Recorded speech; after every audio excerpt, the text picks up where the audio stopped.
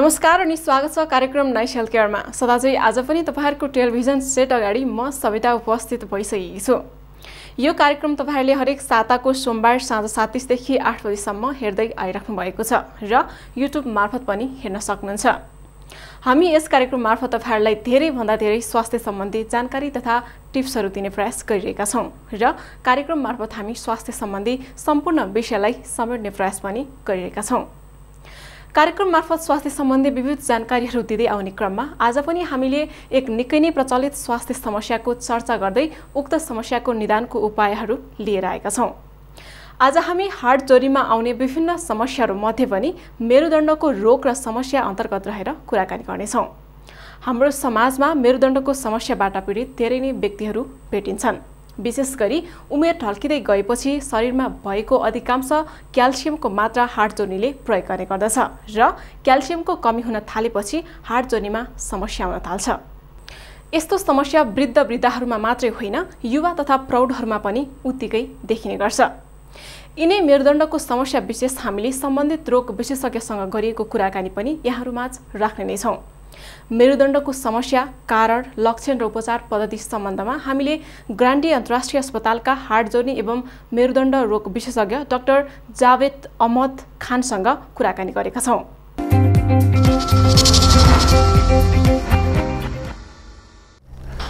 मेरुदण्डमा विभिन्न प्रकारको समस्याहरू आउँछन् मेरुदण्डमा चाहिँ जन्मजात समस्या अथवा चाहिँ हामीले कन्जेनाइटल भन्छन्। त्यो समस्याहरू हुनसक्छ। त्यस त्यो चाहिँ कम उमेरका बच्चाहरूमा र तन्नेरी मान्छेहरूमा हुन्छ। त्यो बाहेक चाहिँ अर्को समस्या चाहिँ इन्फेक्सन रिलेटेड अथवा चाहिँ किटाणुको सङ्क्रमणले हुने त्यो समस्याहरू चाहिँ ब्याक्टेरियाले गर्दा पनि हुनसक्छ। अरू टिबी अथवा अरू फङ्गसहरूले पनि गर्दा हुनसक्छ। त्यस सबभन्दा बढी चाहिँ हुने भनेको उमेरको कारणले हुने परिवर्तनहरूले गर्दाखेरि मेरुदण्डमा समस्या आउँछ त्यसलाई हामीले डिजेनरेटिभ चेन्जहरू भन्छौँ। डिजेनरेटिभ प्रब्लम चाहिँ आजभोलि चाहिँ प्रायः चाहिँ तिस वर्ष कटेपछि तिस वर्षदेखि पचास साठी वर्षका उमेरका मान्छेहरूमा बढी देखिन्छ। र धेरै जसो चाहिँ समस्या डिजेनरेटिभ कारणले अथवा उमेरको कारणले मेरुदण्डमा हुन्छ। अब मेरुदण्ड भनेको के हो भने हाम्रो मेन पिलर हो होइन? जस्तै हामीले चाहिँ कुनै घर बनाउँदाखेरि मेन सेन्ट्रल पिलर हुन्छ।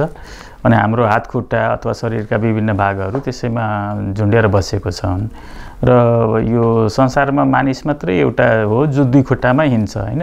त्यो भएकोले हाम्रो स्पाइनमा चाहिँ धेरै जसो लोडहरू त्यसैमा परेका हुन्छन्। र साधारणतः यो लोडलाई चाहिँ हाम्रो शरीरले यसलाई ब्यालेन्स गरेको हुन्छ। त्यसैले गर्दाखेरि हामी निहुरेर गरुङ्गो कामहरू पनि गर्न सक्छौँ र हामी सिधा पनि उभिन सक्छौँ। यो चाहिँ चलायमान पनि छ र यो बलियो पनि छ।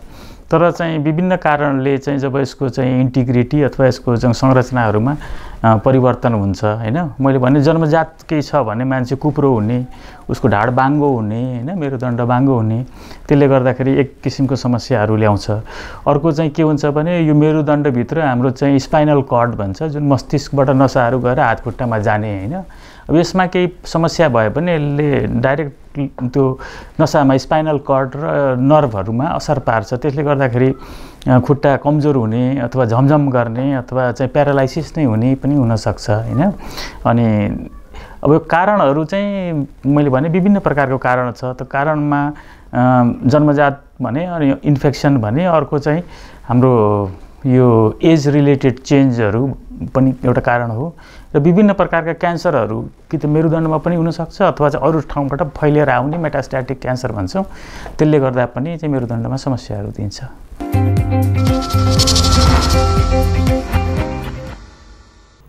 हामी आज तपाईँहरूमा प्रस्तुत गरिरहेका छौँ मेरुदण्ड सम्बन्धी समस्याहरू सम्बन्धमा सम्बन्धित रोग विशेषज्ञसँग गरिएको कुराकानी। डाक्टरबाट मेरुदण्ड सम्बन्धी कस्ता कस्ता खालका रोगहरूले सङ्क्रमण गर्ने गर्छ र मेरुदण्डमा समस्या आउनुमा के के कुराहरूले प्रभाव पार्छ भन्नेबारे थाहा भइसकेपछि हामी यी समस्याहरू आउनुको कारण र लक्षणतर्फ लाग्यौँ। के कारणले गर्दा मेरुदण्डमा यी समस्याहरू आउँछ र विशेष गरी कस्ता कस्ता खालका लक्षणहरू देखा पर्छ मेरुदण्डमा समस्या आउँदा भनेर हामीले डाक्टरसँग सोधेका थियौँ।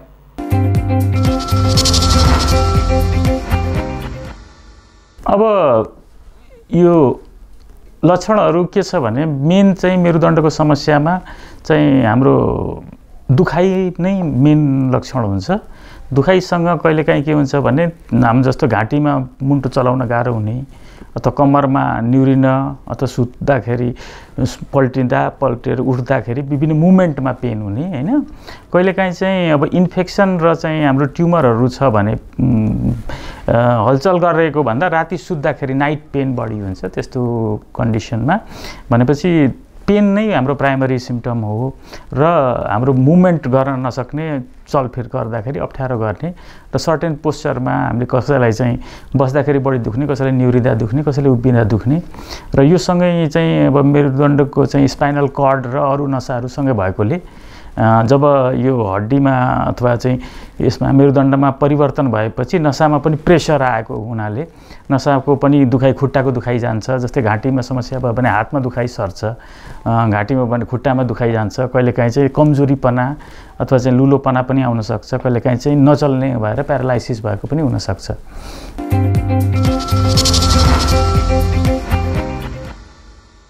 तपाईँ अहिले हेर्दै हुनुहुन्छ कार्यक्रम नाइस हेल्थ केयर र साथमा छु म सविता।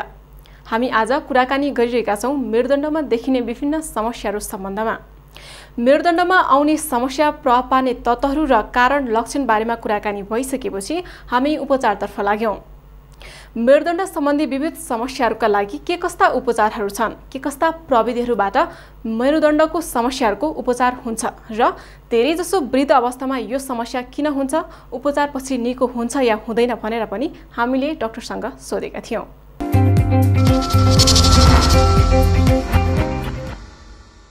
अब उपचार चाहिँ हामीले कारणअनुसार गर्छौँ होइन? के कारणले भयो होइन?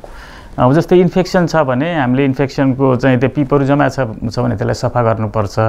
अनि मेरुदण्डमा कमजोरीपना छ भने हाम्रो चाहिँ त्यसमा चाहिँ किलाकाटी लगाएर अपरेसन गरेर समातेर स्ट्रेट गरेर त्यसलाई राख्नु पऱ्यो अनि यो बाहेक चाहिँ अब उमेरको कारणले धेरै जसो हाम्रो बिरामीहरूमा उमेरको कारणले हामीले हड्डी खिएर भएको भन्छौँ जुन।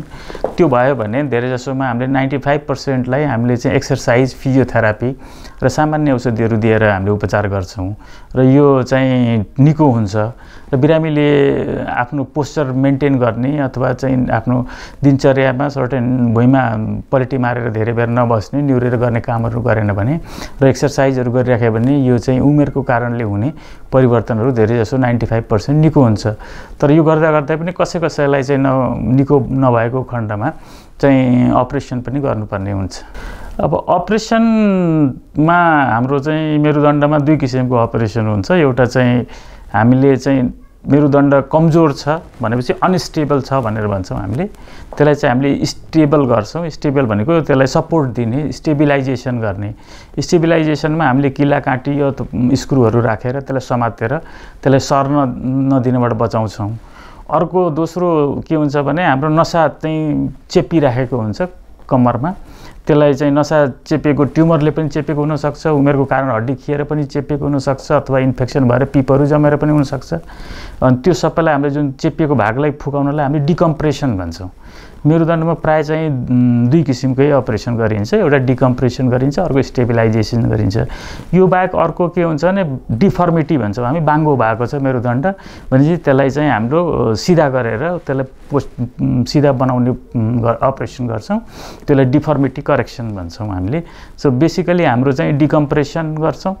नस चेपेको नसालाई फुकाउँछौँ। मेरुदण्डलाई चाहिँ हामीले बलियो गरेर समात्छौँ र बाङ्गो छ भने त्यसलाई सोझो गर्छौँ। यो तिन किसिमको अपरेसन हामीले गर्छौँ।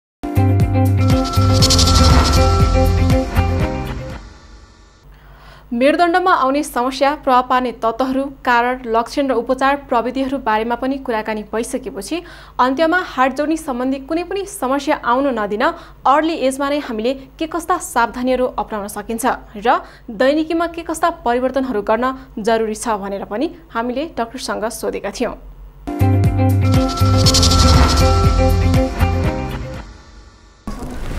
अब यो मेरुदण्डको समस्याहरू भनेको यो हाम्रो हार्ट जोर्नीकै अंश भएकोले हामीले चाहिँ यो हाम्रो शरीरमा क्याल्सियमको जुन सञ्चय हामी गर्छौँ त्यो हामी जन्मेपछि तिस वर्षको उमेरसम्म यसले यसमा चाहिँ हामीले हड सञ्चय गर्छौँ। त्यसको आधारमा हाम्रो क्याल्सियम कति हड्डीमा जम्मा भएर बसेको छ। तिस वर्षपछि क्रमिक रूपमा यो घट्दै जान्छ। भनेपछि हाम्रो अर्ली डेजमा चाहिँ हाम्रो बाल्य अवस्थामा अथवा जब हामी ग्रोथ हाम्रो भइरहेको छ त्यसमा चाहिँ राम्रो खानपिन होइन सन्तुलित खाना एवं क्याल्सियम बढी भएका खानेकुराहरू खायौँ जस्तै दुधमा धेरै पाइन्छ हरियो सागसब्जीमा पाइन्छ फलफुलमा पाइन्छ क्याल्सियम होइन अरू माछाहरू जुन छन् सानो मसिनो काँडाहरू हुन्छन् माछाको त्यो पनि क्याल्सियमको राम्रो स्रोत हो। अनि यो खानपिन यदि राम्रो गऱ्यो भने हाम्रो बोनको डेन्सिटी राम्रो हुन्छ हड्डी बलियो हुन्छ। त्योभन्दा बाहेक अर्को के छ भने एक्सर्साइज हाम्रो खेलकुद गऱ्यो भने हाम्रो चाहिँ मांसपेसीहरू बलियो हुन्छन्। तिनीहरूले चाहिँ शरीरलाई चाहिँ अडाउने जुन उसको क्षमता हुन्छ त्यसमा राम्रो गर्छ। आजभोलि बच्चाहरू आउटडोर खेल्दैनन्। धेरैजसो मोबाइल इलेक्ट्रोनिकहरूमा खेल्छन्। अब मलाई लाग्छ कि उनीहरू समयभन्दा पहिला नै उनीहरूमा यो चाहिँ समस्याहरू देखिन्छ। हामीहरूको पालामा त हामी बाहिर खेल्थ्यौँ खेलकुद गर्थ्यौँ होइन? त्यो पनि अर्ली डेजमा एकदम जरुरी छ होइन? र पछि जब हामी एउटा उमेर पार गरिसकेपछि हामीले चाहिँ नियमित व्यायाम गर्नु पऱ्यो आफ्नो शरीरको वेट चाहिँ मेन्टेन गर्न पऱ्यो अब नियमित टेबल चेयरमा मात्रै काम गर्ने मान्छेले पनि एक्सर्साइजहरू गरेर ब्याकको गर्नु पऱ्यो र अर्को जो मान्छेहरू लङ टर्म चाहिँ कुर्सीमा बसेर काम गर्ने लागि ड्राइभरहरू छ लामो बाटोको गाडी चलाउँछन् उहाँहरूले होइन? अथवा चाहिँ जो यो कम्प्युटरमा काम गर्ने हुन्छन् आइटी एक्सपर्टहरू उहाँहरूलाई चाहिँ आफ्नो बिचबिचमा ब्रेक लिनुपर्छ। लङ टाइम एक एउटै पोस्चरमा बस्यो भने चाहिँ पाइलट भए होइन उहाँहरूलाई चाहिँ यो प्रब्लम बढी हुन्छ। त्यो भएको हुनाले बिचबिचमा ब्रेक लिने अनि एक्सर्साइजहरू गर्ने वेट तौललाई मेन्टेन गर्ने र समस्या आएको खण्डमा चाहिँ चिकित्सकको परामर्श लिएर त्यो समस्याहरूलाई निराकरण गर्ने। त्यो गर्दाखेरि मलाई लाग्छ धेरै हदसम्म हामीले यो समस्यालाई घटाउन सक्छ। यो ढाड दुखेको अथवा घाँटी दुखेको बिरामीहरू हामी कहाँ आउँदाखेरि हामीले उहाँहरूलाई चाहिँ विभिन्न जाँचहरू गर्छौँ एक्सरे गर्छौँ एमआरआई गर्छौँ होइन सिटी स्क्यानहरू गर्छौँ। कहिलेकाहीँ के हुन्छ भने त्यसमा कुनै नराम्रो देखिँदैन। त्यो नदेखेपछि उहाँले किन भयो किन भयो भनेर उहाँहरू निराश हुनुहुन्छ। जबकि हामी खुसी हुन्छौँ कि नराम्रो रोगहरू केही पनि देखिएन। तपाईँ नातिनुहोस् तपाईँलाई राम्रो हुन्छ। यस्ता कुराहरू धेरै जसो हामीले मेकानिकल ब्याक पेन भन्छौँ। मेकानिकल ब्याक पेनमा त्यहाँ कुनै तात्विक परिवर्तन हुँदैन तर के हुन्छ भने त्यहाँ चाहिँ दुखाइ हुन्छ। त्यस्तो दुखाइहरू धेरै जसो चाहिँ हामीले फिजियोथेरापी एक्सर्साइजहरू गरेर हामीले त्यसलाई निको पार्छौँ र यो डराउनु पर्ने खालको होइन यो आफै एउटा समयपछि होइन यो रेस्ट गरेर एक्सर्साइज गरेर निको हुन्छ। र चाहिँ एक्सर्साइज गरिराखे पनि यो पुनः दोहोरिँदैन अनि त्यही भएको हुनाले मेकानिकल ब्याक पेन नै सबभन्दा बढी चाहिँ देखिन्छ। र चाहिँ हामीले निको नभएको खण्डमा मात्रै अरू जटिल एमआरआई सिटी स्क्यानहरू गराउँछौँ। र कहिलेकाहीँ चाहिँ केही नराम्रो रोग छ भने मात्रै त्यसमा केही देखिने हो। र धेरै जसोको चाहिँ त्यस त्यसमा पनि नर्मल आउँछ र चाहिँ बिरामीलाई त्यति बेला हामीले बुझाउन गाह्रो हुन्छ तर बिरामी खुसी हुनुपर्छ कि मलाई कुनै नसा चेपेको छैन कुनै टिबी क्यान्सर अथवा कुनै गम्भीर रोग लागेको छैन भनेर सन्तुष्ट हुनुपर्छ र ती रोगहरू पनि उपचार गऱ्यो भने निको हुन्छन्।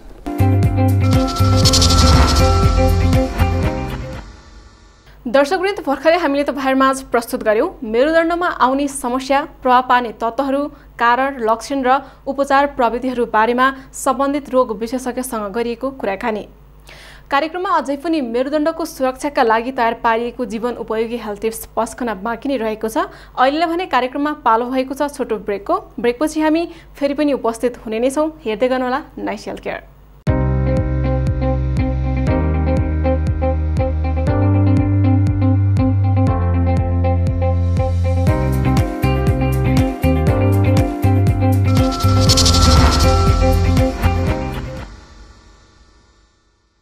ब्रेकपछि फेरि पनि स्वागत छ कार्यक्रममा। तपाईँहरूले हेर्दै हुनुहुन्छ कार्यक्रम नाइस हेल्थ केयर तपाईँहरूसँग बसेर स्वास्थ्य सम्बन्धी धेरै नै कुराकानी गर्न मन हुँदा हुँदै पनि आजले पनि हाम्रो कार्यक्रमको निर्धारित समय सकिने लागेको छ। अब हामी ढिला नगरिकन पस्कदैछौँ। मेरुदण्डको सुरक्षाका लागि तयार पारिएको छोटो जीवनोपयोगी हेल्थ टिप्स।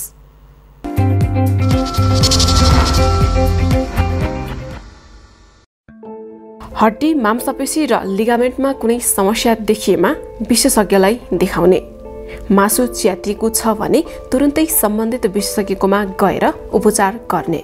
यदि चोर्नी भर्खरै खिन लागेको छ भने व्यायाम र फिजियोथेरापी गरेर समस्याबाट छुटकारा पाउन सकिन्छ। कुनै औषधिको सेवन गर्दा वा वंशाणुगत कारण पनि हड्डीसँग जोडिएको समस्या हुन सक्छ। यसबाट बच्नका लागि क्याल्सियमको सही मात्रा र दैनिक व्यायाम गर्न जरुरी हुन्छ। कुनै दुर्घटना या चोटपटक लागेको र ढाड कम्मर गर्दन काँध पिठ्युमा चोट पुगेको छ भने यसको पहिलो चौबिस घन्टा एकदमै क्रिटिकल हुन्छ। त्यो बेलामा दिनको तिन पटक पन्ध्र पन्ध्र मिनटसम्म बरफले सेक्नुपर्छ। बिहानको घाम ताप्ने गर्नुपर्छ। यसबाट भिटामिन डी पाइने हुँदा हड्डी बोलियो बन्नुका साथै शरीरलाई स्वस्थ राख्नमा पनि विशेष भूमिका हुन्छ। क्याल्सियम बढी भएको खाना खाने गर्नुपर्छ। मेरुदण्डमा ठुलै समस्या छ भने लापरवाही नगरी विशेषज्ञलाई देखाउनुपर्छ।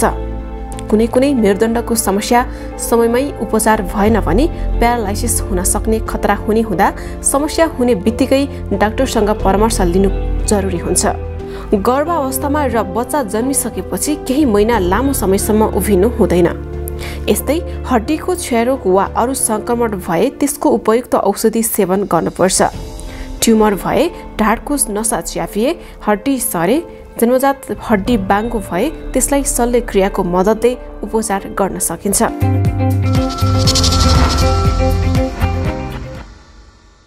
यिनै जानकारीमूलक प्रस्तुतिहरू प्रस्तुत गर्दा गर्दै आजको लागि हाम्रो कार्यक्रमको निर्धारित समय पनि सकिएको छ। जानुभन्दा अगाडि तपाईँहरूले हाम्रो कार्यक्रम कस्तो लागेको छ? आवश्यक सल्लाह सुझाव र प्रतिक्रिया हाम्रो नाइस हेल्थ केयरको फेसबुक पेजमा दिनुहुन अनुरोध गर्दै यतिन्जेलसम्म कार्यक्रम हेरेर साथ दिनुभएकोमा यहाँहरूप्रति आभार व्यक्त गर्दै अर्को हप्ता फेरि पनि अर्को एक जानकारीमूलक प्रस्तुतिका साथ आउने नै छौँ। त्यतिन्जेलसम्मको लागि म सविता लगायत मेरो सम्पूर्ण टिमलाई नै बिदा दिनुहोस्। नमस्ते तपाईँको बाँकी समय स्वास्थ्यमै रहोस्।